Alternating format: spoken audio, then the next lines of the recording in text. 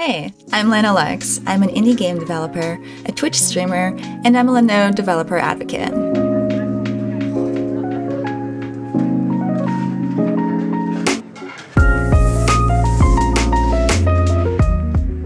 Today we're going to be setting up Cloudron. If you're not already familiar with Cloudron, it's a one-click app available on Linode that helps you run other apps.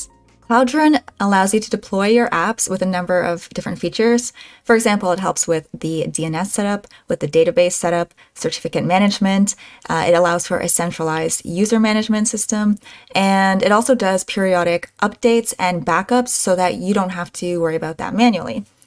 To give you an idea of the applications you would want to run on Cloudron, you'd be looking at things like WordPress, uh, GitLab, um, OpenVPN, Nextcloud. There's a whole bunch of other ones, and we'll be looking at some of them in future videos. So without further ado, let's look at how to set up a Cloudron. The first thing to do is to log into your Linode account. If you don't already have a Linode account, then I have good news for you. You get a $100 credit if you sign up through the link in the description of this video. So go ahead, set up an account, and then log in. Great, so once you're logged in, we're gonna go over to the side here and click on Marketplace. Here you'll see a bunch of different applications you can choose from. We're gonna click on Cloudron. Then we're gonna scroll down. We're gonna select an image. We're gonna pick the Ubuntu 20.04 LTS, and we're going to pick a region that's close to you. For me, the closest region would be Toronto, Ontario. By the way, if you don't see your region on this list or one that's particularly close to you, don't worry too much, just pick the closest one and that will do the trick. We're then going to go and pick a CPU. We're going to go, it defaults to dedicated CPU, but we're going to go to the shared CPU and look for Linode 2 gigabyte. That should do, um, that should be able to cover us for the things that we're going to be doing. Next, we're going to pick a label. I've called mine Jimmy. And if you want to, you can put some tags to help you find your Cloudron, but I only have a few, so I don't need to worry about that at this point. Next, we're going to enter our root password. Don't look what I'm going to type, cover your eyes. Okay, you can look again. And now you can pretty much go ahead and create the Linode. You're welcome to add an SSH key if you're familiar with that. You can attach a VLAN. You can also do backups. That's all there and available for you. But as far as we need, we're ready to go and we can go ahead and create Linode over here. Okay, so once you've set that up, you're going to be redirected to this page here. I'm waiting for Jimmy, my Cloudron, to set up. It can take somewhere between five to 10 minutes, so this is a good chance to go make a coffee, do a stretch, go pet your dog, whatever you need to do while you wait for that to set up.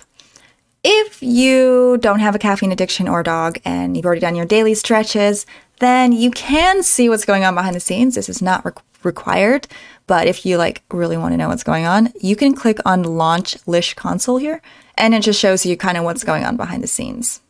When you're ready to check if your Linode is ready, you can click on the IP address here, copy it from this, and open a new tab where you can paste that in and load the page up. Once it's ready, you will be able to visit it. As of right now, it is not ready. Now it's ready. Okay. So this is actually expected. Your connection is not private. It's giving us security warnings. And if you went to some random website like this, you should definitely check out some of the warnings that it's giving. But because we know where we're going, this is right to our Linode, we copied it right from here. We know it's safe and we can bypass it.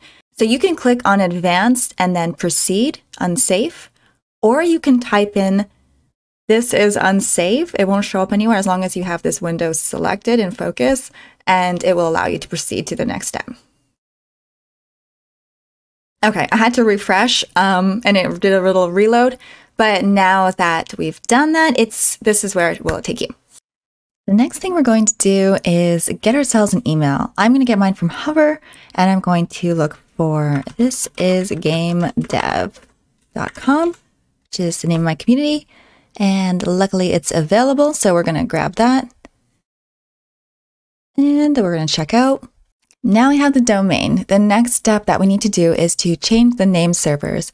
And this is going to be different depending where you get your domain from. You can get it from anywhere. You can also use an existing one, but we want to set the, the name servers to point to Linode. So we're going to type in ns1.linode.com and ns2.linode.com. We then need to add three, four, and five, which are automatically filled in, which is fantastic. We can now click Save Name Servers, and this should work. And it may take a little while to take effect, but that's all we need to do here. We can now go back to Linode and set it up there. Now back in Linode, we can click on Domains, and we can click Create Domain. I'm going to add the same one I just set up in Hover. Um, that was this is gamedev.com. I'm going to put in my email and we're going to put insert default records from one of my Linodes and we're going to select Jimmy. There we go. Excellent. Now that our domains are set up, we can go back to Linode. We can click on our, um, actually, we can copy over our, our IP address from the Cloudron. We can paste it into a new tab here, and we're going to put in the domain that we just set up. So I'm going to be using this is gamedev.com. Let's make sure I copy it right. And we're going to click Linode and we are going to make an API token. We're going to go over to our username. We're going to click on API tokens. Then we can create a personal access token. I'm going to say Jimmy Cloudron 3. I've already done this a couple times. And we're going to make sure that domains is set to read and write. And that's it. The rest can be set to none. And I'm going to make it not expire. We'll create the token, copy it over, and over here, we can now paste it into the API token and click Next. So now we just have to wait for it to set up. Okay, so now we have our admin setup waiting for us. We can put it in. Our full name, email, username, and password. And we can create admin. Cloudron is ready to use. We can proceed to the dashboard. And here it is, ready for us to install some apps. So we can sign in. And I'm going to accept the Cloudron license. And here we have all the different apps that we can go ahead and install.